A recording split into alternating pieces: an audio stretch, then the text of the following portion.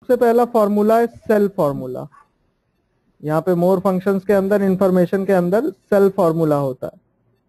ठीक है जी? सेल फॉर्मूला आपको कई तरह की इंफॉर्मेशन देता है। ठीक है जी? ये इंफॉर्मेशन फॉर्मूले आपको तरह तरह की इंफॉर्मेशन ही देते हैं, जिसके बेस पे आप अपने जो प्रोग्राम्स या फॉर्मूले बनाते हैं ऑटोमेशन के लिए तो उसमें यूज़ किया जाता है इनको। ठीक है जी? जैसे कि अगर हम सेल फॉर्मूला की बात करें, हम आ जाते हैं अपना रिकॉर्डेड है सर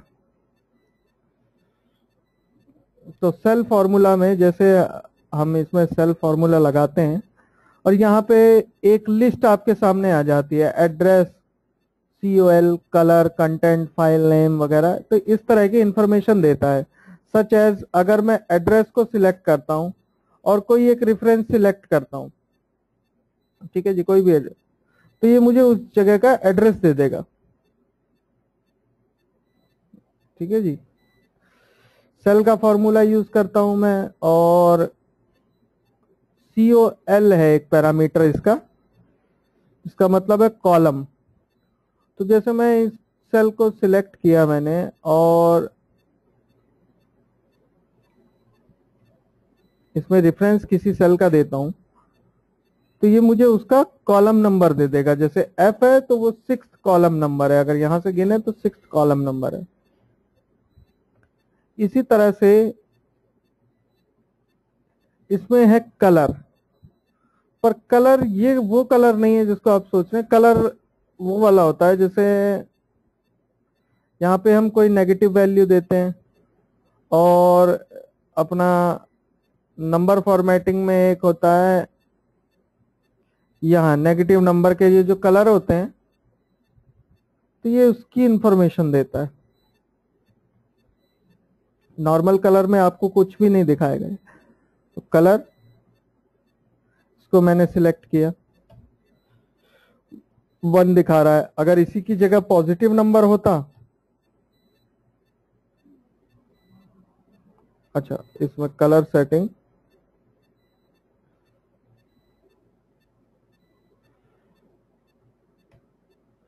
तो ये ज़ीरो दिखा रहा है। मैं एक बार चेक कर लेता हूँ। मेरा कैलकुलेशन मोड तो डाउन नहीं है, जिसकी वजह से कई बार गड़बड़। ठीक है जी। तो जब आपका नंबर नॉन नेगेटिव होता है और उसमें कलर होता है नेगेटिव में तो यहाँ पे ये वन दिखाता है।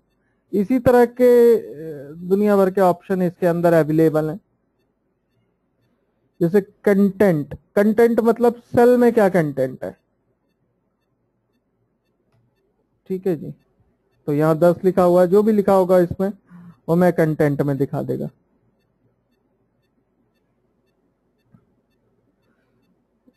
नेक्स्ट है आपका फ़ाइल नेम इसका फ़ाइल नेम क्या है? कोई आपको रेफरेंस सिलेक्ट ही करना होता है तो अभी कुछ नहीं है तो इसलिए कुछ नहीं दिखा रहा है। मान लीजिए इस फ़ाइल को मैंने सेव कर दिया एबीसी के नाम से।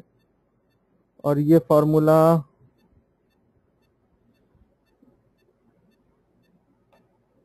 एक बार रिफ्रेश किया मैंने। यहाँ पे आ गया मेरे को, जो भी फ़ाइल का नाम है, वो आ गया। देन फॉर्मेट फॉर्मेट में क्या होता है? फॉर्मेट आपकी सेल पे किस तरह का फॉर्मेट लगा हुआ है? कौन सा फॉर्मेट नंबर फॉर्मेटिंग जो नंबर फॉर्मेटिंग होगी, ये आपको दिखा देगा। तो अभी क्या है इसमें? जनरल नंबर फॉर्मेटिंग है। जनरल के लिए जी दिखा रहा है। अगर यहाँ नंबर होते मतलब यहाँ से अगर इसको मैं डेसिमल पोजीशन थोड़ी सी बढ़ा देता हूँ। अगर अब देखा जाए तो इसमें दिखा रहा है F2 F मतलब नंबर के लिए और 2 मतलब दो डेसिमल पोजीशन ठीक है जी? इसको देखिए, जितनी चीज़ें मैं बता रहा हूँ, आपको पता कैसे पड़ेंगी कि ये एग्जैक्टली exactly है क्या चीज़। ठीक है जी? इसके लिए हम क्या करेंगे? अपना टेक ऑन द नेट पे चले जाएँगे। एक्सेल का पेज खोल लेंगे। और इसमें एक्सेल फ़ंक्शंस पे चले जाएँगे। होप कि आप इसके बारे में जानते होंगे पहले से। विंड वर्कशीट फ़ंक्शन कैटेगरी वाइज। तो कैटेगरी में इंफॉर्मेशन पे चले जाएँगे। Information, cell.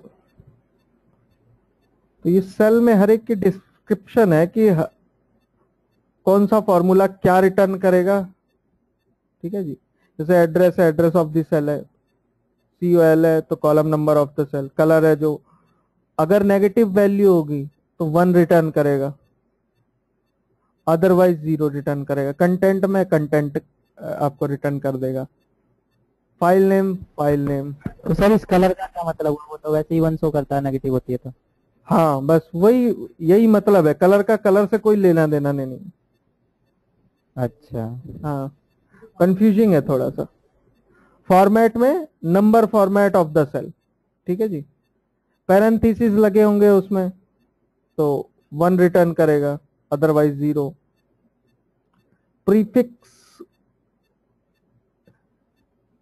प्रीफिक्स में कि अगर लेफ़्ट अलाइंड है तो सिंगल क्वेट रिटर्न करेगा, राइट अलाइंड है, अलाइनमेंट उसका तो डबल क्वेट्स करेगा, सेंटर अलाइंड है तो कैरेट रिटर्न करेगा। फिल अलाइंड है फिल कौन सा होता है आपका? फिल। ये जस्टिफाई का जो हम ये करते हैं ना, फिल वाला। जस्टिफाई का जो होता है अपना। तो इसमें। स्लैश रिटर्न करेगा। Returns an empty text value for all other बाकी के लिए कुछ नहीं रिटर्न करेगा। सेल अगर आपकी प्रोटेक्टेड है कि नहीं, आपको कैसे पता पड़ेगी? तो आपका प्रोटेक्ट का मेथड है। ठीक है जी? वन अगर सेल लॉक्ड है, अगर ज़ीरो अगर सेल नॉट लॉक्ड है। प्रोटेक्शन का कैसे चेक करते हैं? यहाँ पे जाके ये लॉक्ड है अनलॉक्ड है। ठीक है जी? अब मैं इसको अनलॉक कर देता हूँ। और इसके नीचे वाली लॉक है। तो अगर मैं यहाँ पे सेल का फ़ंक्शन यूज़ करता हूँ और यहाँ से प्रोटेक्ट का मेथड यूज़ करता हूँ तो इसमें मुझे क्या देगा? ज़ीरो अनलॉक्ड पे और लॉक्ड के लिए वन ठीक है जी? ये जितने भी फ़ंक्शन मैं बता रहा हूँ, आपके ऑटोमेशन के काम में आते हैं। ठीक है जी? जब आपको बीबीए नहीं आता है, आप कुछ करना चाहते हैं फॉर्मूले की नॉलेज अच्छी है फॉर्मूले के थ्रू काफ़ी इंफॉर्मेशन आप यहाँ से गेट कर सकते हैं। Row row number of the cell type B माने ब्लैंक अगर सेल खाली है तो बी आपको रिटर्न कर देगा। एल रिटर्न कर देगा अगर वो टेक्स्ट हो तो।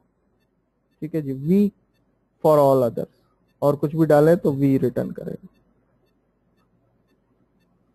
देन आपको जो ये फॉर्मेट का बताया था, उसके यहाँ पे फॉर्मेट दिए हुए कि हर एक फॉर्मेट के लिए क्या करेगा। जनरल के लिए जी एफ़ ज़ीरो अगर नंबर फॉर्मेट है कॉमा सेपरेटर एंड ज़ीरो अगर आपका कॉमा सेपरेटर है तो।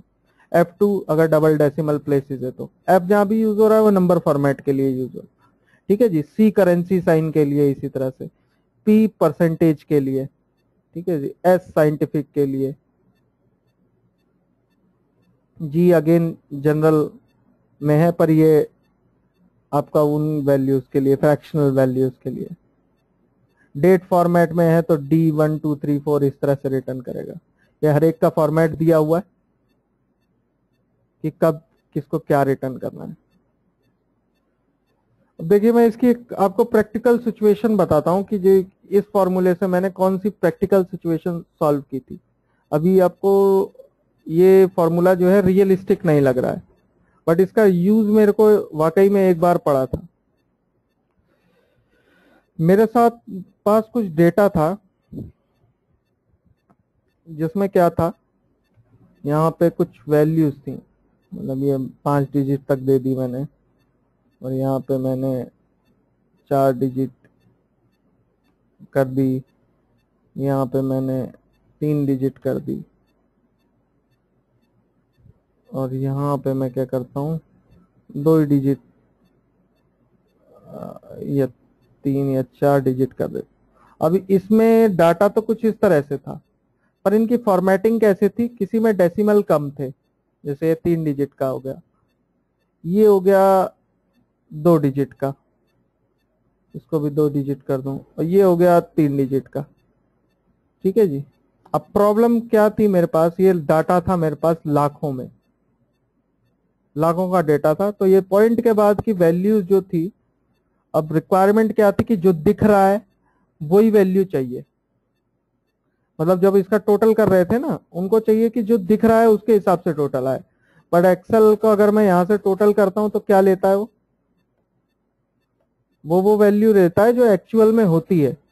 मतलब इसके पीछे जो वैल्यू थी वो उसको उठा रहा था। जबकि होना उन, उनको चाहिए क्या था कि जो वैल्यू दिख रही है उसका टोटल आए। ठीक है जी? अब इसमें इसका और कोई सोल्यूशन तो नज़र नहीं आया। मेरे को पूरे नेट पे मैंने चेक किया इसका मुझे कोई सोल्यूशन नहीं मिला। तो फाइनली मेरे को इन्फॉर्मेशन फार्मूला की याद आई। मैंने कहा उसमें कुछ ऐसे फ़ंक्शंस हैं जो इन्फॉर्मेशन देते हैं, पर किस तरह की देते हैं। तब मैंने इस सेल फार्मूला की, इसमें रिसर्च की थोड़ी बहुत कि किसमें क्या देता है। तो मैंने क्या लगाया? अब इसमें मैं रेफरेंस के लिए क्या कर लेता हूँ, यहाँ पे सम भी ले लेता हूँ, आपको दिखाने के लिए कि क्या फ़र्क आता है। इसको मैं कहीं पेस्ट स्पेशल कर देता हूँ, ताकि एक्चुअल मुझे पता रहे कि ये वैल्यू है, अगर अगर इसके पीछे की भी सम होती है तो। मुझे चाहिए थी कि जो दिख रहा है वो वैल्यू इस केस में मैंने क्या किया? पहले मैंने लगाया सेल का फॉर्मूला अब सेल के फॉर्मूला में मेरे को क्या देखना था कि मुझे चाहिए था फॉर्मेट इसका। ठीक है जी? फॉर्मेट मैंने चूज़ किया। ठीक है जी? तो फॉर्मेट में मुझे ये पता पड़ गया कि जो ये दिखा रहा है, वो कितनी पोजीशंस तक है। और मुझे दिखाए, दिखाने वाली ही वैल्यू चाहिए थी। अब इसने तीन, दो दो, तीन तो दे दिया, मेरा आधा काम कर दिया। यानी कि मैं इसको राउंड कर सकता था। ठीक है जी? राउंड कर सकता था इस वैल्यू को और तीन, दो यहाँ से ले सकता था। पर तीन, दो लेने के लिए मुझे एफ़ हटाना था। तो एफ़ अगर मुझे हटाना था तो मुझे क्या करना था इस वैल्यू को? सब्सटीट्यूट यहाँ पे टेक्स्ट ओल्ड टेक्स्ट क्या था मेरा? एफ़ था। रिप्लेसमेंट किसके थ्रू होनी थी? ब्लैंक के थ्रू ठीक है जी? ये करके मैंने क्या किया? तीन दो एक निकाल लिए. देन मैंने क्या किया? राउंड का फॉर्मूला लगा. सब्सटीट्यूट का जो फॉर्मूला हेलो सर हाँ जी हाँ जी हाँ जी हाँ जी. ये जो सर सब्सटीट्यूट का जो फॉर्मूला लगा तो बेसिकली वो ये रिप्लेस करने के लिए यूज़ किया जाता है? हाँ रिप्लेस करने के लिए ही यूज़ किया जाता है. रिप्लेस भी यूज़ कर सकते हैं. सब्सटीट्यूट भी यूज़ कर सकते हैं। सब्सटीट्यूट थोड़ा आसान पड़ता है रिप्लेस में ना। आपको ये देना होता है कि कहाँ से क्या रिप्लेस करना मतलब कौन सी इंडेक्स पोजीशन से। और सब्सटीट्यूट में क्या करते हैं हम डायरेक्टली दे सकते हैं। ठीक है मतलब इसका काम भी रिप्लेस करने का ही है। हाँ हाँ। वो आपको जब टेक्स्ट फॉर्मूला की क्लास हुई होगी तो उसमें ये चीज़ दिखाई होगी आपको। रिप्लेस और टेक्स्ट हाँ सर ठीक है जी? ठीक है सर थैंक यू तो मुझे ये पता पड़ा कि यहाँ से इस तरह से निकाल सकते हैं इनको। ठीक है जी? अब मैंने क्या करना था? एक सिंपल सा फंडा लगाना था राउंड के अंदर। मुझे ये वैल्यू सिंपल राउंड कर देनी थी। किससे? कितनी डिजिट तक? ये जो यहाँ से ये निकल के आई। ठीक है जी? तो ये मैंने ड्रैग किया। और यहाँ मेरे पास इसका एक्चुअल रिज़ल्ट आ गया। पर अभी आपको दिख रहा होगा कि यहाँ दो डिजिट में या तीन डिजिट में दिखा रहा है। पर जब मैं इसको पेस्ट एज स्पेशल कर देता हूँ तो ये मेरे पास एक्चुअल डेटा आ जाता है। अब इसके पीछे भी कुछ नहीं है। ठीक है जी, छह सौ सत्तावन ही है, पर यहाँ देखें तो छह सौ छप्पन चौवन है है ना? तो जो दिख रहा था, उसका टोटल क्या होना चाहिए था? ये। ठीक है जी डिफरेंस आ रहा है ना? यहाँ 584 है, यहाँ 594 है। ठीक है जी तो ये लाखों में था तो अच्छा खासा डिफरेंस हो रहा था। तो इसका सोल्यूशन मुझे ये सेल के थ्रू ही मिला। बाद में मैंने इनको फॉर्मूला कंबाइन करके अपना काम कर लिया। कैसे कंबाइन कैसे करेंगे वो आपको पता ही है फिर भी मैं कर देता हूँ। कि जैसे अब यहाँ पे जो बेस आ रही है, उधर तो नहीं सी थ्री में क्या आ रहा है? ये आ रहा है। तो पहले मुझे इसको फ्री करना है। तो यहाँ मैंने क्या क्या यूज़ किया सब्सटीट्यूट में बी थ्री जो यूज़ किया तो मुझे बी थ्री का फॉर्मूला चाहिए। यहाँ से सेल का फॉर्मूला कॉपी किया। बी थ्री की जगह पूरा डाल दिया। ठीक है जी? अब मैंने क्या करना है? इस फॉर्मूला को यहाँ तक कॉपी किया सब्सटीट्यूट तक, और जहाँ ये राउंड का फ़ंक्शन है सी थ्री वहाँ डाल दिया। ठीक है जी? ये आ गया। अब मुझे बाकी किसी की ज़रूरत नहीं। यही फॉर्मूला काफ़ी है।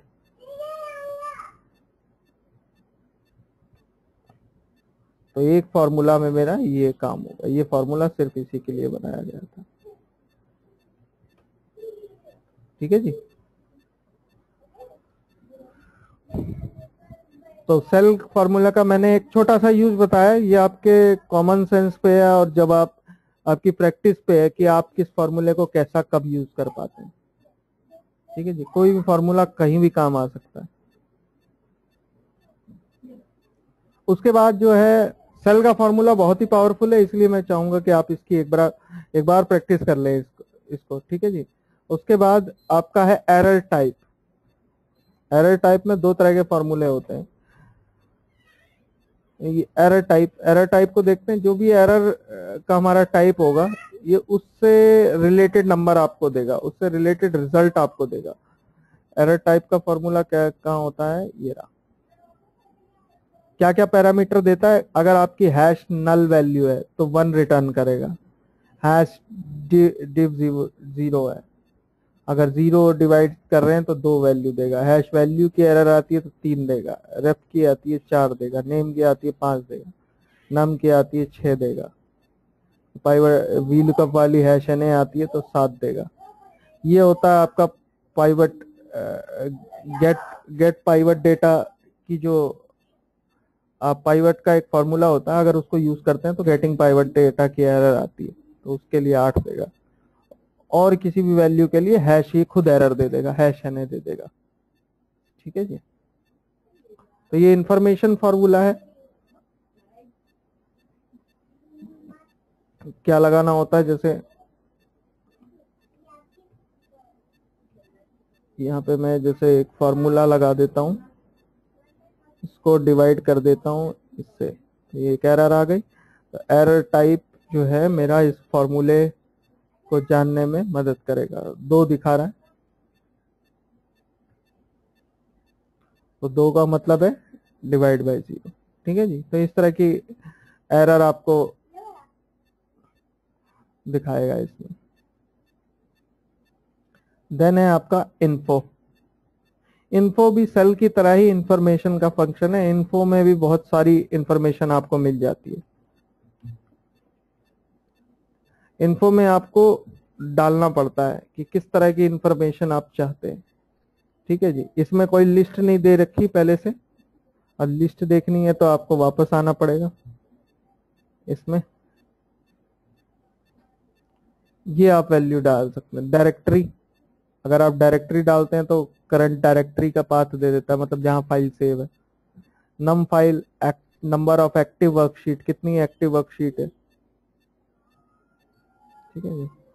ओरिजिन ओरिजिन पहले मैं आपको दिखा देता हूँ। इन्फो डायरेक्टरी ठीक है जी। टेक्स्ट की तरह देंगे हम तो ये मुझे बता देगा कि कहाँ पे फ़ाइल रखी हुई है। दूसरा मैं दिखा रहा था आपको। ओरिजिन ओरिजिन का थोड़ा सा ट्रिकी यूज़ है। ओरिजिन में क्या करता है? ये आपको एक एड्रेस देता है। ए वन दिखा रहा है। ए कॉलम ए वन ठीक है जी? मतलब ये वाला। ये क्या दिखाता है? ये आपको लास्ट विजिबल दिखाता है।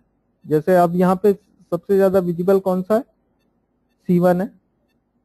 तो अगर मैं इसको रिफ्रेश करूँगा फॉर्मूले को तो यहाँ सी वन दिखाएगा। ठीक है जी? विजिबिलिटी के ऊपर दिखाता है। जो विजिबल होगा। डीप आ गया। अगर इसको मैं रिफ्रेश करूँगा तो ये डी नाइन दिखा डी वन दिखा रहा है। ठीक है जी? नीचे जाऊँगा तो अब कौन सा हो गया? यहाँ पे पहला कौन सा दिखा रहा है? डी फोर तो डी फोर दिखा रहा है। ठीक है जी? इस तरह से ये आपको रिज़ल्ट दिखाता है। O S version O S version डालेंगे तो ऑपरेटिंग सिस्टम का वर्जन जो होगा आपको दिखा देगा।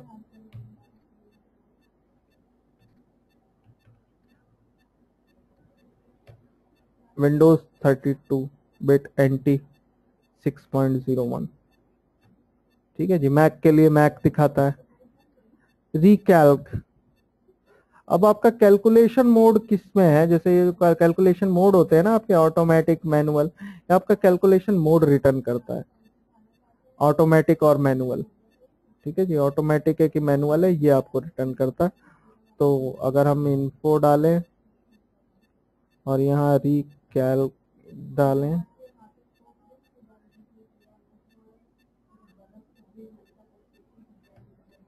तो ऑटोमेटिक दिखा रहा है। मान लीजिए मैं इसको मैनुअल पे सेट कर देता हूँ तो क्या दिखाएगा? मैनुअल दिखाएगा। ठीक है जी? Automatic release version of Excel that you are running कौन सा वर्जन चला रहे हैं आपको वो दे देगा। रिलीज़ पे। इन्फो रिलीज़ 12.0 ठीक है जी? System operating system environment PC DOS देगा ये पीसी डॉज अगर देता है तो वो विंडोज़ के लिए होता है। इन्फो कौन सा सिस्टम सिस्टम तो यहाँ पे पीसी डोज देता है जो, जिसका मतलब होता है विंडोज़ के सिस्टम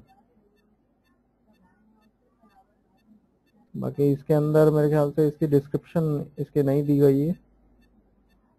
हालाँकि पीसी डॉज का मतलब यही होता है। और एक और जगह से हम जान सकते हैं फ़ंक्शन पे क्लिक करेंगे हेल्प ऑन दिस फ़ंक्शन इसमें भी कुछ होती हैं इसमें भी आपको सिंटेक्स पता पड़ जाता है कि किस किस पे इसको क्या देना चाहिए। जैसे मैक एंड टॉश के लिए इसने दिया है मैक विंडो का यूज़ कर रहे हैं तो पीसी डॉस दिखाएगा ऑटोमेटिक और मैनुअल क्या क्या रिज़ल्ट आएँगे, इसमें भी आपको दिख जाता है।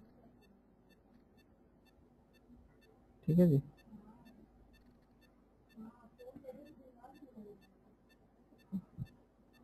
इसके बाद इस ब्लैंक इस ब्लैंक ये चेक करता है कि सेल ब्लैंक है कि नहीं। ठीक है जी। मैं कोई किसी भी सेल को ये इस वाले फ़ंक्शन है, आपको क्या करते हैं, ये बुलियन वैल्यू रिटर्न करते हैं। बुलियन मतलब ट्रू या फॉल्स ठीक है जी? तो इस ब्लैंक कह रहा है कि ब्लैंक है ट्रू मतलब है। अगर इसमें कोई वैल्यू डाल दू तो फिर फॉल्स मतलब नहीं है, ठीक है जी? ऑटोमेशन में इसका हम अच्छा खासा यूज़ कर सकते हैं। इस ब्लैंक की तरह ही आगे जो इसके फ़ंक्शन है is error is E R R और इज़ एरर दो फ़ंक्शन है जो कि एरर चेक करने के लिए ही यूज़ होते हैं। बस एक डिफरेंस है इसमें कि इस आर जो है हैश एन एरर को डिटेक्ट डिटेक्ट नहीं करता है। जैसे हम एक, यहाँ पे दो तरह की एरर डाल देते हैं। एक एरर ये ले लेते हैं।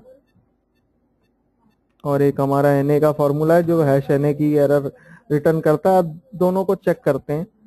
एक इस ई आर आर से। बुलियन वैल्यू देगा, जैसे कि मैंने बताया, ये वाले सारे फ़ंक्शन इसके साथ जो शुरू होते हैं ट्रू फॉल्स में रिज़ल्ट देगा। तो इस आर आर ने बताया कि यहाँ पे ये तो एरर है आपकी, ये नहीं है, क्योंकि ये इसको काउंट नहीं करता है। Is E R R function hash N को छोड़ देता है। ठीक है जी? और इज़ एरर जहाँ फुल आएगा। वो क्या करेगा? उसकी नज़र में दोनों ही एरर हैं। ठीक है जी? छोटा सा डिफरेंस है बस।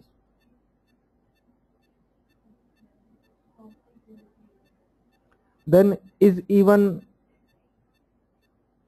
और आपके पास इसके अलावा सेपरेटली एक इसी एरर को एनए की एरर को चेक करने के लिए कौन सा फॉर्मूला इज़ एन ए का। तो इस एन को आप चेक कर सकते हैं कि क्या ये एरर एन है कि नहीं? ठीक है जी? अलग से एक सेपरेट फॉर्मूला दिया हुआ है। बाकी इज़ इवन और इज़ ऑड अब इवन ऑड नंबर के लिए हमारे पास ये है। तो अगर मैं यहाँ पे इज़ इवन डालता हूँ और इसके साइड का रेफरेंस देता हूँ ड्रैग करता हूँ तो इवन के आगे ट्रू आ जाएगा।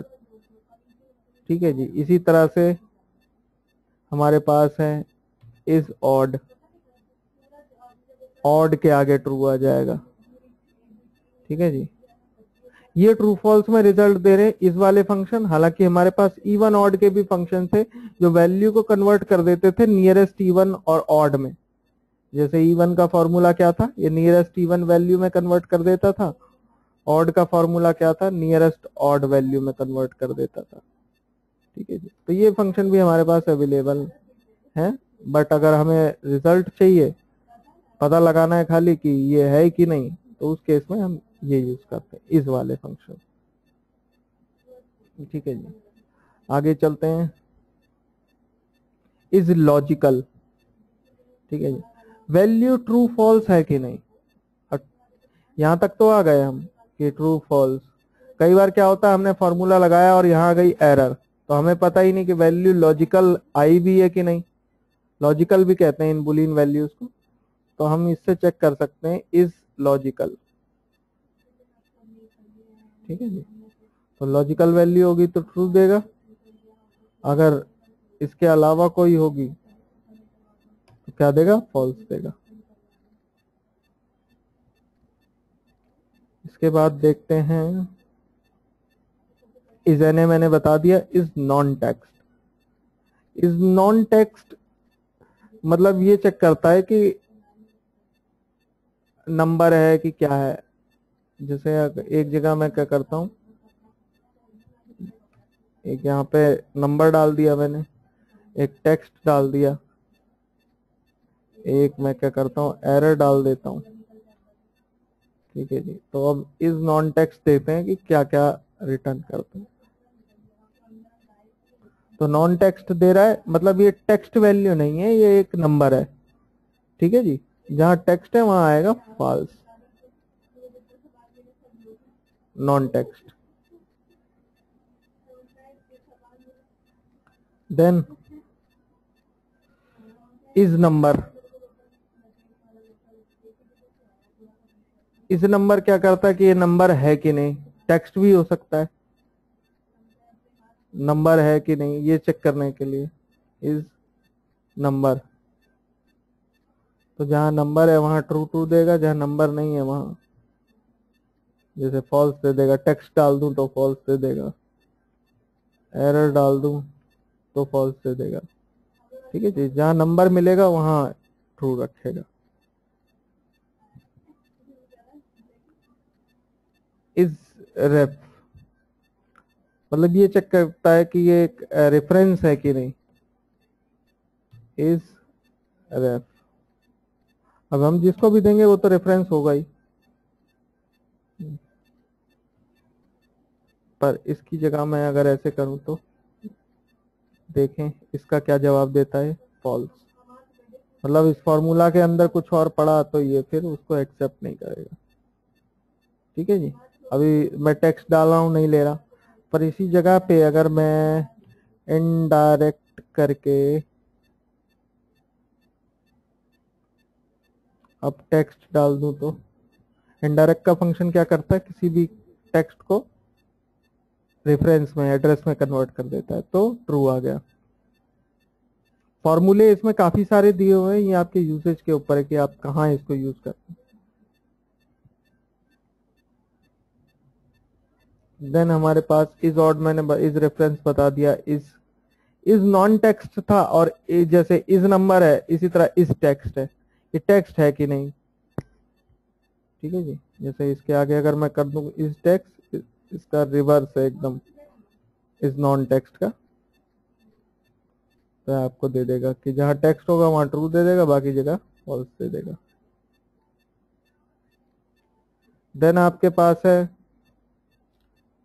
एन एन ए और टाइप एन ए का मैं बता चुका हूँ. एन ए का जो है मैं, जैसे ये एरर है तो ये रिटर्न करने के लिए एन ए का यूज़ करता हूँ.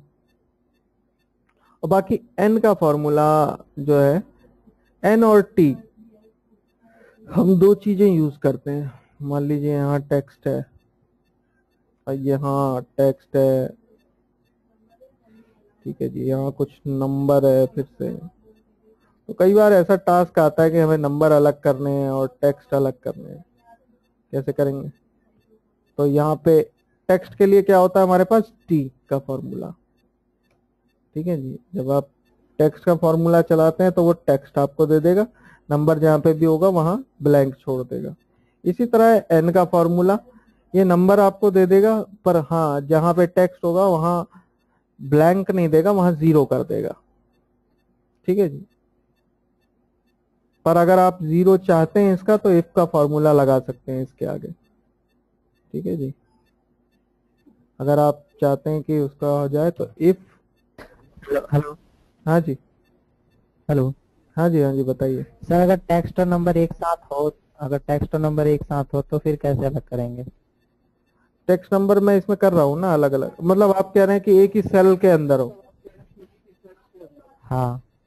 उसके लिए एरे फॉर्मूला लगाना पड़ेगा वो भी ल, बहुत लंबा चौड़ा। ठीक है जी? और मिड के फॉर्मूला के थ्रू होगा। ठीक है जी? एक एक उसमें हम रीड करवाते हैं ना। मतलब गूगल पे सर्च कर लीजिए हाँ। उसका मिल जाएगा आपको। ठीक है जी? एरे का फॉर्मूला क्योंकि आप एक ही चीज़ के अंदर चाह रहे हैं ना जैसे यहाँ पे इस तरह से तो आप इसके नंबर अलग करवाना चाह रहे हैं।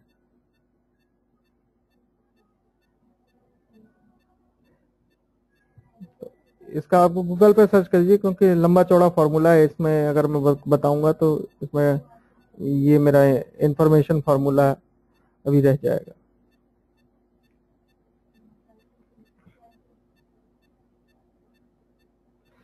बाकी क्या मैं बता रहा था? टाइप के बारे में। अब इसके बाद हमारा था टाइप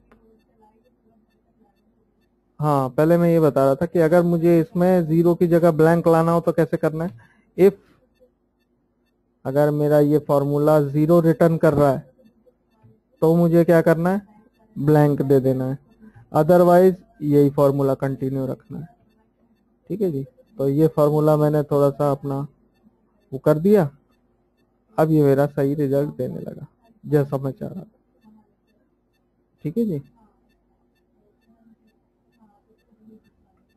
देन इसके बाद आपका टाइप का फॉर्मूला टाइप का फॉर्मूला नंबर रिटर्न करता है। और हर एक के लिए अलग अलग नंबर रिटर्न करता है, टेक्स्ट के लिए, आपका नंबर के लिए, एरर है तो कुछ और रिटर्न करेगा।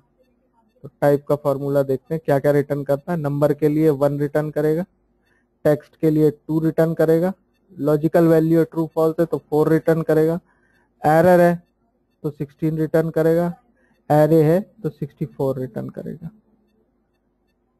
ठीक है जी, टाइप के अंदर बस हमें ये वो रेफरेंस डालना होता है। जैसे अब ये ट्रू फॉल्स आ रहा है तो क्या रिटर्न करेगा? फोर एरर है तो क्या रिटर्न करेगा? सिक्सटीन टेक्स्ट है तो क्या रिटर्न करेगा? टू ठीक है जी? नंबर है तो क्या रिटर्न करेगा? वन इसी तरह कहीं एरे लगा हुआ है।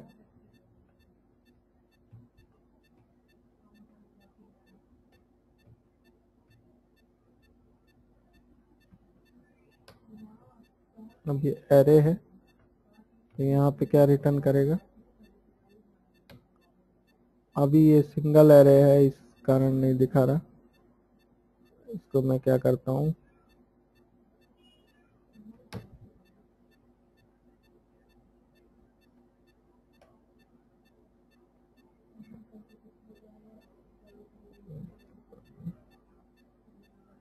क्या हुआ इसमें दिखाने में हाँ। एरे में आपका 16 रिटर्न करेगा।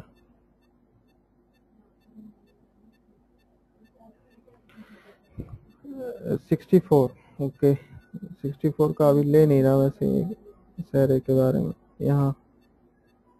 चलिए कोई नहीं।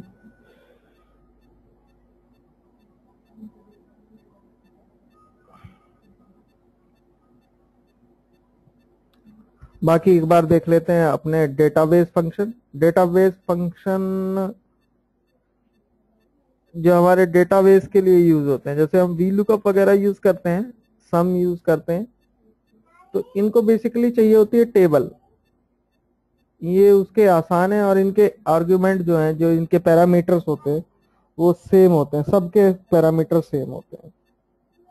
ठीक है जी? और विद हेडिंग चलते हैं, जैसे अपने एडवांस फ़िल्टर अगर यूज़ किया होगा तो उसके अंदर जिस तरह से तीन क्राइटेरिया होते हैं, इनके डेटाबेस फ़ंक्शन के डेटाबेस फ़ील्ड क्राइटेरिया ठीक है जी?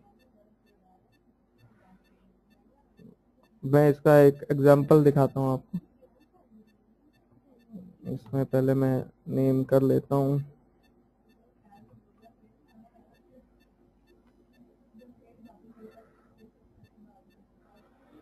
सिटी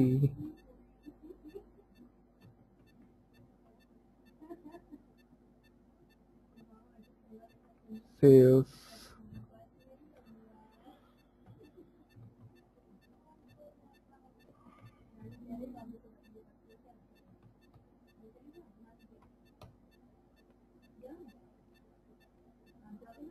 यहाँ मैंने।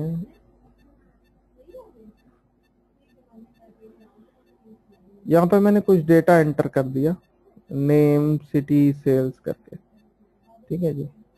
अब इसको मैं मान लेता हूँ, ये हो गया मेरा पूरा डेटाबेस और इसकी क्या करता हूँ डेटाबेस का वैसे फ़ंक्शन कभी यूज़ नहीं होते, क्योंकि आप इसमें थोड़ा सा क्राइटेरिया वगैरह का ज़्यादा दिक्कत करता है। मतलब ये थोड़े से अटपटे लगते हैं यूज़ करने। जैसे कि अगर मैं कहूँ कि संदीप के आगे कौन सी सिटी है? ठीक है जी, ये मैंने क्राइटेरिया कर दिया, कौन सी सिटी है? तो डी गेट ये हर फॉर्मूला जो है डी से चालू होता है, जिसका मतलब है डेटाबेस और इसमें तीन पैरामीटर होते हैं डेटाबेस फ़ील्ड क्राइटेरिया तो डेटाबेस में मुझे क्या करना होता है? होल डेटा सिलेक्ट करना पड़ता है। देन कौन सी फ़ील्ड चाहिए मुझे? फ़ील्ड मुझे चाहिए सिटी की। यहाँ से मैंने फ़ील्ड सिलेक्ट की ऊपर की हेडिंग। हाँ अभी डेटाबेस मेरा डिलीट हो गया। ये मैंने सिलेक्ट किया, कॉमा।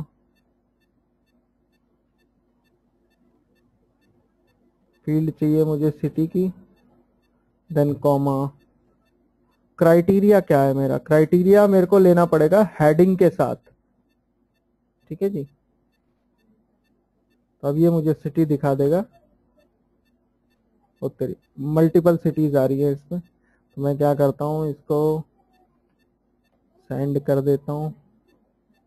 और इसमें से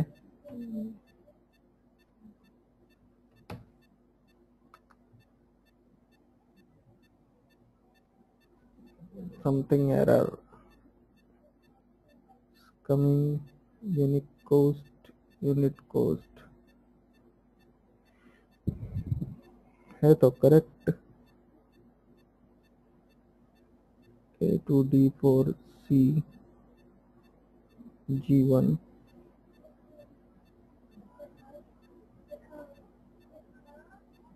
यहाँ पे मुझे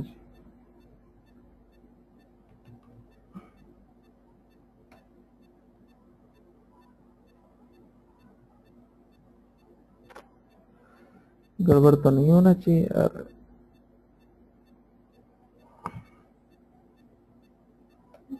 डेटाबेस कहाँ से कहाँ तक ले रहा है यहाँ देखें। ए फोर से डी एट तो ए फोर से डी एट ये पूरा पूरा ले लिया। देन इन्होंने क्या किया? इन्हें चाहिए यूनिट कोस्ट ये चाहिए तो यूनिट कोस्ट यहाँ दे दिया, जो कि हम ऊपर वाले से ले रहे हैं। देन इन्होंने क्राइटेरिया दिया ए वन ए टू यानी कि ये दोनों। इस हिसाब से तो सही है, पर गड़बड़ क्या आ रही है? ये देखें, ये कुछ मदद करें।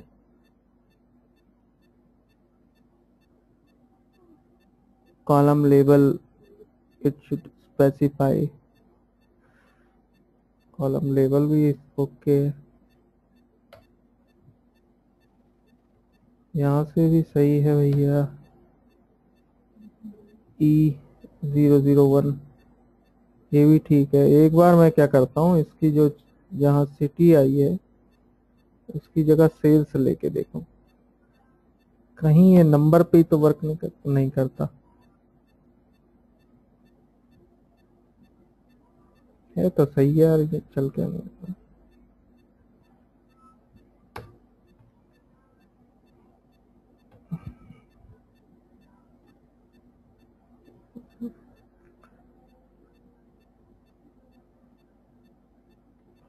चलिए इसको रोकते हैं, बाकी और देखते हैं जब तक इसके। जैसे डी सम है आपका। क्राइटेरिया मैं कह रहा हूँ कि इसका जो है सेल्स का क्राइटेरिया ग्रेटर देन 50 होना चाहिए। ठीक है जी।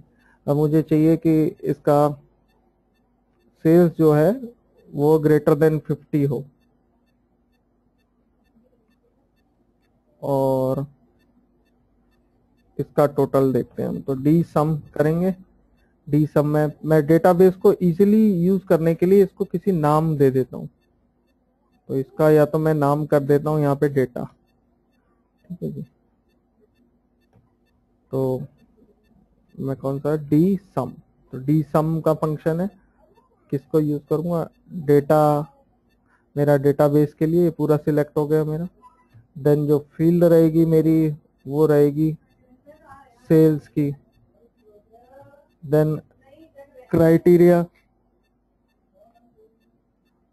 में मैं सिलेक्ट कर लेता हूँ इसको सेल्स वाले पे तो ये मेरा ग्रेटर देन 50 की जितनी सेल्स हो गई, वो आ गई। अब क्राइटेरिया में मैं क्या कर सकता हूँ? मैंने अभी यहाँ पे H1 H2 दिया है। मैं चाहे तो पूरा भी सिलेक्ट कर सकता हूँ और इसके अंदर भी क्राइटेरिया भर सकता हूँ। जैसे मुझे चाहिए कि संदीप जहाँ है। उसका ग्रेटर देन 50 कितना है? या मैं ऐसे भी कर सकता हूँ कि जो सिटी थी मेरी, पलवल, वो शॉर्ट फॉर्म में, उसमें ग्रेटर देन 50 कितनी है? Sandeep Palwal and greater than 50 कितना है? एक से तो इस तरह से आपके फिल्ट्रेशन कुछ मेथड को फॉलो करता है। तो यहाँ पे मैंने आपको दिखाया सम का फ़ंक्शन डी सम का। इसी तरह से आपके डी एवरेज है। डी सम की बजाय अगर मैं डी एवरेज निकाल दू, लगा दूँगा तो ये उसी क्राइटेरिया के बेस पे आपकी एवरेज देने लगेगा। मान लीजिए सिटी हटा देता तो बाकी उनकी एवरेज देने लगा। इसको भी हटा देता हूँ। इसमें जो कंडीशन पड़ेगी आपकी वो टेक्स्ट की फॉर्म में पड़ती है। जैसे कि ग्रेटर देन 50 जैसे हम काउंट इफ़ वगैरह में कंडीशन यूज़ करते हैं तो उस तरह से चलेगी। ठीक है जी? अगर आप यहीं पे कंडीशन देना चाहते हैं, पर यहाँ पे आपको कॉलम लेबल चाहिए एरे में देनी पड़ेगी तो बेटर है यहाँ से ना दें, इस तरह का बना के दें। ठीक है जी? डी मैक्स इस फिल्टर्ड डेटाबेस में मैक्सिमम वैल्यू ठीक है जी? ग्रेटर देन 50 में से। ठीक है जी। डी मिन भी है इसी में से कोई मिनिमम वैल्यू ठीक है जी 51 की दिखा रहा है। स्टैंडर्ड डेविएशन के लिए है, जो स्टैटिक्स की अगर आप बात करें डी काउंट डी काउंट मतलब ऐसी फिल्टर्ड वैल्यू कितनी है? डी काउंट ठीक है 145 वैल्यू है डी काउंट ए मतलब होता है कि अल्फाबेट्स के साथ में, ऐसी वैल्यूज़ कितनी है ठीक है जी, अगर ग्रेटर देन अगर मैं इसको छोड़ के किसी टेक्स्ट पे फ़िल्टर लगा रहा हूँ तो उसमें कितने अल्फ़ा न्यूमेरिक वैल्यूज़ हैं? तो काउंट है उस जगह यूज़ होगा डी काउंट है डी प्रोडक्ट जितनी भी वैल्यूज़ होगी उन सबको मल्टीप्लाई कर देगा, जो भी फिल्टर्ड वैल्यू तो डी प्रोडक्ट प्रोडक्ट दिखा देगा। डी बार में वेरिएशन दिखा देगा। बाकी इतना ही है। हालाँकि इनका कोई खास यूज़ नहीं है। इन सबको हम वैसे ही अपने दूसरे फार्मूलाज के थ्रू कर लेते हैं। इन, इतने हद तक आने की हमें ज़रूरत नहीं होती। ठीक है जी? तो ये थे आपके डेटाबेस फ़ंक्शन और इंफॉर्मेशन फ़ंक्शन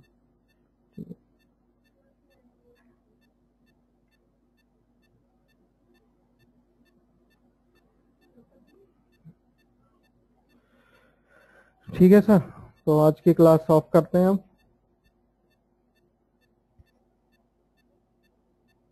किसी का